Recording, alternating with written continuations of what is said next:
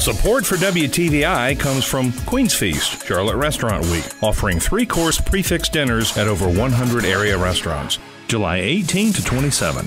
Details at charlotterestaurantweek.com.